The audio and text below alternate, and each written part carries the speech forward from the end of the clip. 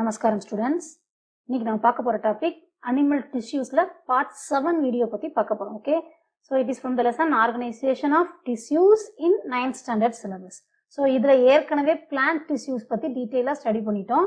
So இதுக்கு முன்னாடி போட்ட வீடியோவில் அனிமல் டிஷ்யூஸோட இன்ட்ரொடக்ஷன் எல்லாம் பார்த்துட்டோம். ஸோ இப்போ அனிமல் டிஷ்யூஸில் என்னெல்லாம் டைப்ஸ் இருக்காங்க? ஃபோர் டைப்ஸ் பார்த்தோம். அதில் எபித்தீலியல் டிஷ்யூஸை பற்றியும் அதோடைய டைப்ஸ் பற்றியும் டீட்டெயிலாக இந்த வீடியோவில் பார்க்க போகிறோம் ஓகே ஸோ ஃபர்ஸ்ட் எபித்தீரியல் டிஷ்யூஸ்னா என்னன்னு ஒரு ரீகேப் கொடுத்துட்டு உள்ள போகிறேன் okay epithelial tissues are widespread throughout the body that form the covering of all body surfaces line body cavities and halo organs and are the major tissue in glands there are two types of epithelial tissues so epithelial tissues அப்படின்றது ஒரு major tissue it covered overall our body so நம்மளுடைய உடம்புல எல்லா பாடி சர்ஃபேஸையும் cover பண்ணியிருக்கிறது இந்த epithelial டிஷ்யூஸாக தான் இருக்கும் maximum okay so அது போக இவங்க வேற எங்கெல்லாம் இருப்பாங்க அப்படின்னா பாடி கேவிட்டிஸில் இந்த லைனிங் லைனிங் அப்படின்றது வந்து அவுட்டர் லேயர் புறணி பகுதி அப்படின்னு சொல்லுவாங்க. ஓகே ஸோ அந்த மாதிரி இருக்கிறவங்க ஹேலோ ஆர்கன்ஸ் ஒரு ஆர்கனில் ஒரு ஒரு ஒரு உள்ளீடற்ற பொருளாக இருந்ததா ஹேலோவாக இருந்தது ஹேலோ சப்ஸ்டன்ஸாக இருந்தது அப்படின்னா அங்கே ஃபில் பண்ணுறதுக்கு இந்த டிஷ்யூஸ் இருப்பாங்க. ஸோ கிளான்ஸ்லையும் இருக்காங்க அப்படின்னு சொல்கிறாங்க இந்த எபித்தீலியல் டிஷ்யூஸை டூ டைப்ஸாக கிளாஸிஃபை பண்ணலாம். Simple epithelium and compound epithelium அப்படின்னு. ஓகே இதில் சிம்பிள் காம்பவுண்ட் இது ரெண்டுக்கும் என்ன டிஃபரன்ஸ் அப்படின்னா சிம்பிள் எபித்தீலியல் டிஷ்யூஸ்னா இந்த ஸ்ட்ரக்சர் தான். இதில் ஒவ்வொரு தனித்தனி செல்ஸும் அதோடைய பேஸ்மெண்ட் மெம்பரேனோட தனித்தனியாக கனெக்ட் ஆயிருக்கும். ஸோ சிம்பிள் அப்படின்னாலே எப்படி இருக்கும்? செல்ஸ் எல்லாமே தனித்தனியாக தான் இருக்க போகுது குரூப்பாக இருக்க போகிறது இல்லை. ஸோ அந்த தனித்தனி சிங்கிள் செல்லும் அந்த பேஸ்மெண்ட் மெம்பரேனோட கனெக்ட் ஆயிருக்கிறதுனால இதை சிம்பிள் எபித்தீலியம்னு சொல்கிறோம் காம்பவுண்ட் எபித்தீலியம்னா எப்படி இருக்கும் அப்படின்னா ஸோ குரூப் ஆஃப் செல்ஸ் இருக்கும். நிறைய செல்ஸ் இருக்கும். நீங்கள் இங்கே பார்த்தீங்கன்னா தெரியும். ஸோ தனித்தனி சிங்கிள் செல்ஸாக இருக்காங்க. ஆனால் இவங்க அப்படி கிடையாது. எப்படி குரூப்பாக இருக்காங்கன்னு பாருங்க. ஒன்று ஒன்றும் நியூக்ளியஸ் ஸோ ஒவ்வொன்றும் ஒவ்வொரு செல்ஸ் ஸோ இதில் கீழே பேஸ்ல இருக்கக்கூடிய செல்ஸ் மட்டும்தான் அந்த பேஸ்மெண்ட் மெம்பரைனோட கனெக்ட் ஆயிருப்பாங்க. மேலே இருக்கக்கூடிய செல்ஸ் எல்லாமே கனெக்ட் ஆயிருக்க மாட்டாங்க. ஸோ இது ரெண்டும் தான் major difference between simple epithelium and compound epithelium அப்படின்றது. ஓகே ஸோ இந்த வீடியோவில் சிம்பிள் எபித்தீலியம்ல என்னென்ன டைப்ஸ் இருக்கு அப்படின்னு பார்க்க போறோம் so simple எபித்தீலியம்ல it is formed a single layer of cells நாம பார்த்த மாதிரி அதே மாதிரி வெறும் சிங்கிள் லேயரா தான் arrange ஆயிருப்பாங்க okay it forms the lining for the body cavities and duct okay it is further divided into following types so அந்த simple எபித்தீலியத்தையே ஃபைவ் டைப்ஸாக கிளாஸிஃபை பண்ணுறோம் okay first one is squamous epithelium cuboidal epithelium columnar epithelium ciliated epithelium and glandular epithelium so இந்த மாதிரி ஒரு five டைப்ஸாக இந்த simple எபித்தீலியத்தை கிளாஸிஃபை பண்ணுறோம் ஸோ இதில் ஒன்று என்னென்ன கேரக்டர்ஸ் அப்படின்றத பற்றி பார்க்கலாம். ஃபர்ஸ்ட் பார்க்கக்கூடியது squamous epithelium okay so the squamous cells are large thin and flat so இதோடைய ஸ்ட்ரக்சர் எப்படி இருக்கும் அப்படின்னா லார்ஜ் செல்லாக இருப்பாங்க தின்னாக இருப்பாங்க ரெண்டாவது ஃப்ளாட்டாக இருப்பாங்க okay it contain rounded nucleus இந்த சென்டரில் இருக்கக்கூடியது தான் நியூக்ளியஸ் அப்படின்னு சொல்கிறாங்க ஸோ இது பார்த்தீங்கன்னா தெரியும் உங்களுக்கு. சிங்கிள் லேயராக தான் அந்த செல்ஸுடைய அரேஞ்ச்மெண்ட் இருக்கும். ஓகே ஸோ இதுக்கு இன்னொரு நேம் என்ன அப்படின்னா it is also called pavement epithelium அப்படின்னு சொல்கிறாங்க பேவ்மெண்ட் அப்படின்னா என்னது? ஒரு ஒரு நடைபாதை அப்படின்னு அர்த்தம். இப்போ வந்து இதை பார்க்கறதுக்கு எப்படி இருக்கும் அப்படின்னா ஒரு டைல்ஸ் அடிக்கி அடிக்கி வச்சு ஒரு ஒரு வேவ் ஃபார்ம் பண்ணியிருந்தோம் அப்படின்னா அது எப்படி இருக்குமோ அதே மாதிரி தான் பார்க்க இருக்கும். ஸோ அதோடைய அந்த அவுட்டர் சர்ஃபேஸை பாருங்களேன் எப்படி இருக்குது பார்க்கறதுக்கு? டைல்ஸ் கட்டிங் மாதிரி இருக்கா இல்லையா? ஒரு டைல்ஸ் வந்து பதிச்சிருந்தோம் அப்படின்னா நமக்கு நடக்கும்போது அந்த அந்த ஒரு அப்பியரன்ஸ் இருக்கும் பாருங்க. அதே மாதிரி இருக்கிறதுனால இந்த ஸ்கியூமஸ் எபித்தீலியத்தை பேவ்மெண்ட் எபித்தீலியம் அப்படின்னு சொல்றோம். Due to its style like appearance okay சரி நெக்ஸ்ட் பாருங்க. Simple squamous epithelium are found in எங்கெல்லாம் இருப்பாங்க அப்படின்னா capillaries alveoli glomerulus and other tissues where rapid diffusions is required so main இவங்களுடைய ஃபங்க்ஷன் என்ன அப்படின்னா இட் இன்வால்வ் இந்த டிஃப்யூஷன் ப்ராசஸ் டிஃப்யூஷன் அப்படின்னா பரவுறது. ஒரு இடத்துல இருந்து இன்னொரு இடத்து இன்னொரு இடத்துக்கு ஒரு ஒரு சப்ஸ்டன்ஸை பரவ செய்யறது. ஸோ அதை தான் டிஃப்யூஷன் அப்படின்னு சொல்லுவோம். ஓகே ஸோ ஃபார் எக்ஸாம்பிள் இப்போ ஒரு ஒரு ஒரு ஒரு கிளாத் எடுத்துக்கோங்க. ஒரு டாட் வச்சோம் ஒரு இங்க்ல ஒரு டாட் வச்சோம் அப்படின்னா இந்த இங்க் அப்படியே டிஃப்யூஸ் ஆகி அப்படியே ஸ்ப்ரெட் ஆகிறத நம்ம பார்க்க முடியும். ஸோ இதை தான் டிஃப்யூஷன் அப்படின்னு சொல்லுவோம். இந்த ப்ராசஸுக்கு செல்ஸுக்கு ஹெல்ப் பண்ணுறது இந்த ஸ்கியூமஸ் செல்ஸ் இந்த squamous epithelial cells okay so எங்கெல்லாம் இருப்பாங்கன்னு பார்த்தோம். கேபிலரிஸ்னால் நமக்கு என்னன்னு தெரியும். ஏற்கனவே படிச்சிருக்கோம் நம்ம. இதே வீடியோலயே நிறைய வீடியோவில் படிச்சிருக்கோம். ஆல்வியோலை அப்படின்றது லங்ஸ்ல இருக்கக்கூடிய ஒரு பார்ட் ஓகே கிளாமர்லெஸ் அப்படின்றது உங்களுக்கு தெரியும். கிட்னியில் இருக்கக்கூடிய ஒரு பார்ட் ஸோ அந்த அதர் டிஷ்யூஸ் எங்கெல்லாம் டிஃப்யூசன் நீடடோ அங்க எல்லாம் இந்த ஸ்கியூமஸ் எபித்தீலியம் அப்பியரன்ஸ் இருக்கும் அப்படின்னு சொல்றாங்க ஓகேவா சரி நெக்ஸ்ட் பாருங்க. Cuboidal epithelium so cuboid cube அப்படின்னாலே என்ன? இந்த மாதிரி ஸ்ட்ரக்சரை தான் கியூப் அப்படின்னு சொல்லுவோம். ஸோ படிச்சிருக்கோம்ல கியூப் அப்படின்ற ஒரு ஸ்ட்ரக்சர் படிச்சிருக்கோம் இல்லையா? ஸோ இந்த ஸ்ட்ரக்சரை தான் கியூப் அப்படின்னு சொல்லுவோம். ஸோ இந்த எபித்தீலியம் பார்க்கறதுக்கு கியூப் மாதிரியே இருக்கிறதுனால இது கியூபாய்டல் எபித்தீலியம் அப்படின்னு சொல்றோம். So simple cuboidal epithelium is a type of epithelium that consist of a single layer of cuboidal that is cube like cells அப்படின்னு சொல்றோம். So these cuboidal cells have large spherical and central nuclei so இங்கேயும் என்ன இருக்கும்? சென்ட்ரல்ல ஒரு nucleus இருக்கும். லார்ஜாக இருக்கும். Spherical ஷேப்ல இருக்கும். சென்ட்ரல் லொக்கேட் ஆயிருக்கும் அப்படின்னு சொல்றாங்க. ஓகே சரி இதோடைய லொக்கேஷன் இந்த கியூபாய்டல் எபித்திலியம் எங்கெல்லாம் இருக்கும் அப்படின்னா secretory duct of small glands kidney tubules so kidney டியூபியூல்ஸ்னா என்னன்றதை படிச்சிருக்கோம் ஏற்கனவே வீடியோவில் ஸோ ஸ்மால் கிளான்ஸ்ல அந்த டக்ட்ல செக்ரேட்டரி டக்ட்ல இருக்கும் அப்படின்னு சொல்றாங்க. இதோடைய மெயின் டியூட்டி என்ன? கிளாண்ட்ல இருக்காங்க அப்படின்னாலே அவங்களுடைய மெயின் டியூட்டி என்னவா இருக்கும்? செக்ரீஷன் ஆஃப் ஹார்மோன்ஸாக தான் இருக்கும். ஸோ ஹார்மோன்ஸாக இருக்கும் இல்லை என்சைம்ஸாக இருக்கும். ஸோ அதனால இவங்களுடைய மெயின் ஃபங்க்ஷன் அப்போ என்னவா இருக்க போகுது? Secretion and absorption okay something செக்ரீ secretion help பண்ண போறாங்க. இல்ல அப்சார்ப்ஷன் உரியக்கூடிய ப்ராசஸ்க்கு ஹெல்ப் பண்ண போறாங்க. ஸோ இதுதான் கியூபாய்டல் எபித்தீலியம் ஸோ நேம் நீங்க நல்லா படிச்சுக்கிட்டீங்க அப்படின்னா அதுல இருந்தே அந்த டெஃபினிஷனை அழகா எழுதலாம். ஓகேவா சரி நெக்ஸ்ட் பாருங்க.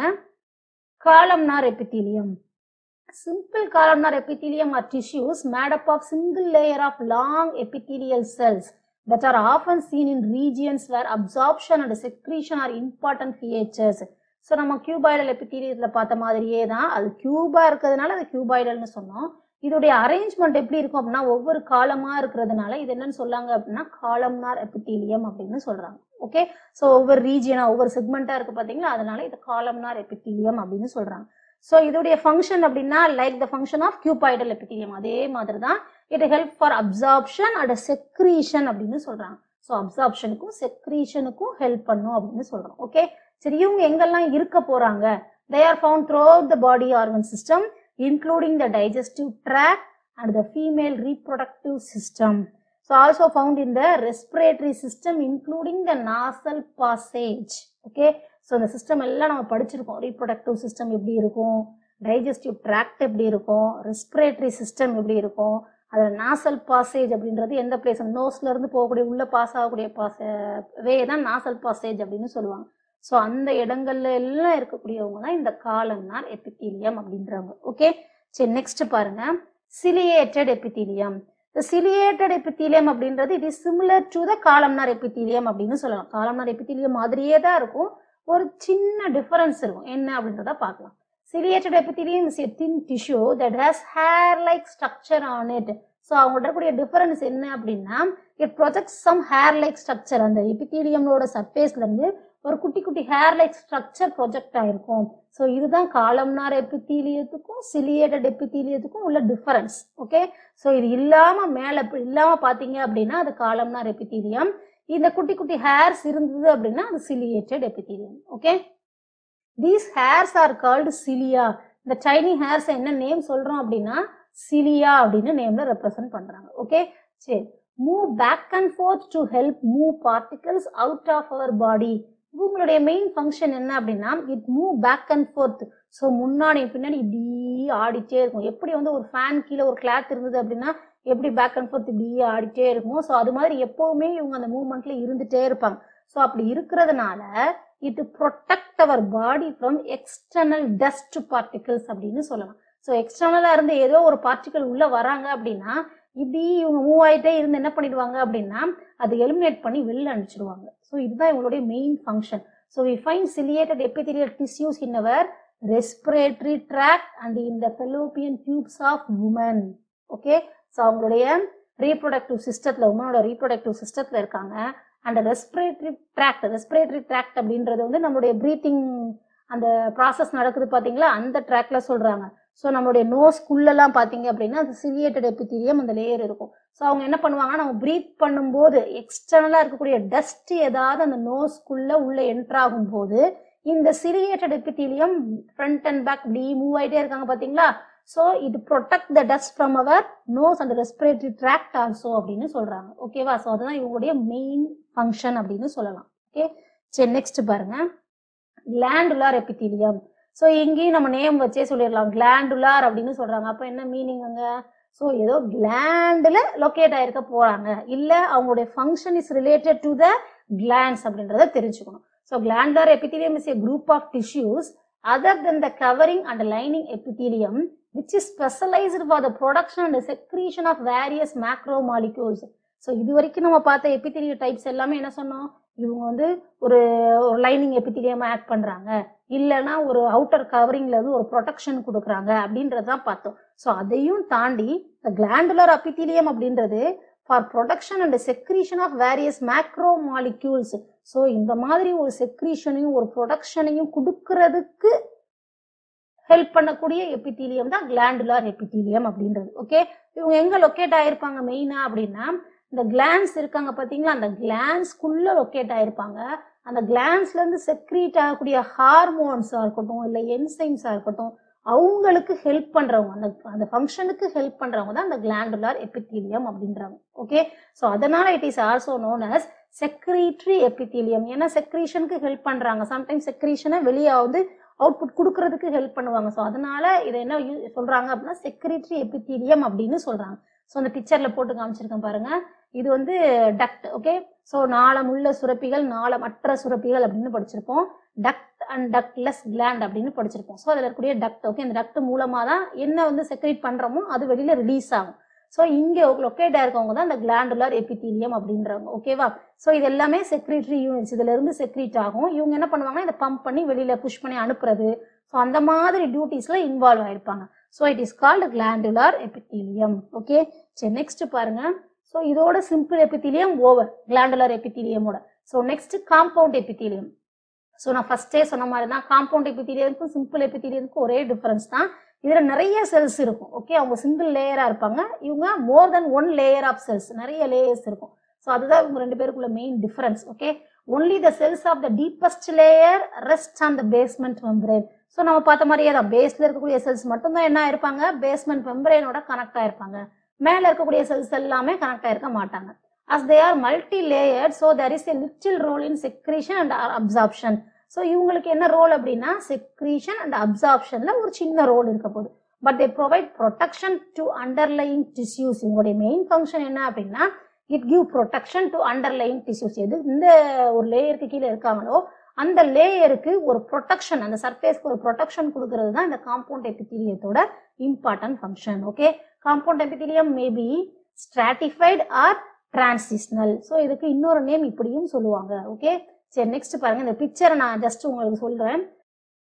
ஸோ இங்கே ஒரு சின்ன டிஃபரன்ஸ் இருக்கு பாருங்க. சிம்பிள் அண்ட் காம்பவுண்ட் எபித்தீலியம் நான் கொஞ்சம் கம்பேர் பண்ணி சொல்றேன். ஸோ ஃபர்ஸ்ட் பாருங்க. Squamous epithelium simple squamous epithelium so இந்த பிக்சர் இருக்காங்க பாருங்க. ஃபிளாட்டா இருக்கக்கூடியது தான் ஸ்கியூமஸ் எபித்தீலியம்னு பார்த்தோம். சிங்கிள் லேயர் ஆஃப் செல்ஸ் இதெல்லாம் ஒவ்வொரு லேயர் ஆஃப் செல்ஸ் ஆனா இங்க பாருங்க. Stratified squamous epithelium that is compound squamous epithelium அப்படின்றது.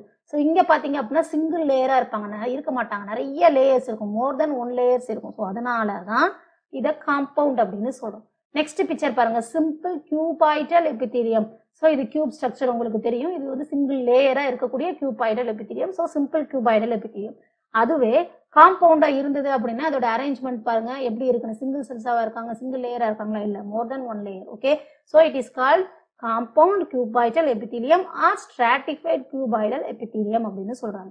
ஸோ இங்க சிம்பிள் காலம்னார் எபித்தீலியம் கொடுத்துருக்காங்க. ஸோ இதே மாதிரி காம்பவுண்ட் காலம்னார் எபித்தீலியத்துலயும் எப்படி இருக்கும்?